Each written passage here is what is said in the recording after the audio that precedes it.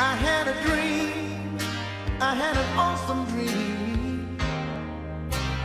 People in the park playing games in the dark. And what they played was a masquerade from behind the walls of doubt. A voice was crying out.